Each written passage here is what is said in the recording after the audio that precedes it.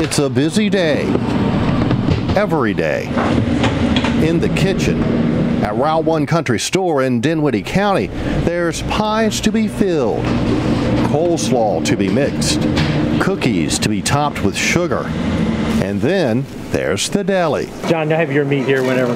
where dozens and dozens of sandwiches are prepared Monday through Saturday. The Cajun turkey is where it's at.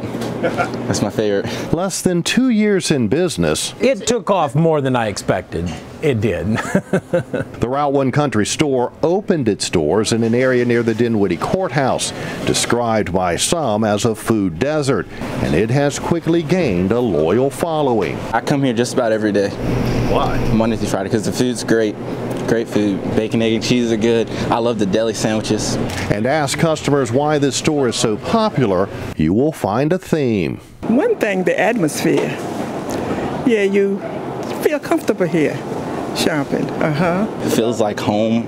They're always nice when you come in. They make your food quick for you, and they just enjoy your company. Everybody's always been very pleasant here, and uh, it just feels very comfortable.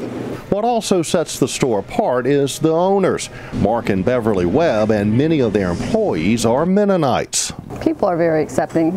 yeah, it's been real, a real positive, uh, and we've we've really enjoyed our our interaction with the community. And the Webb's children are part of the business. It's been a good growing experience for them to teach them to work with people and do what's asked of them and the commitment that it takes.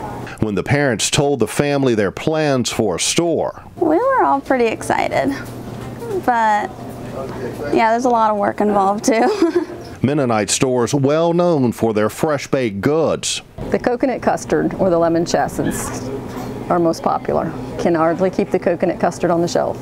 More than 75 handmade pies a week. And then there's the bread. Bread we bake every day. And part of the draw here is what's on the shelves. These kind of stores have been successful uh, because of a lot of the products that come out of Lancaster, Pennsylvania.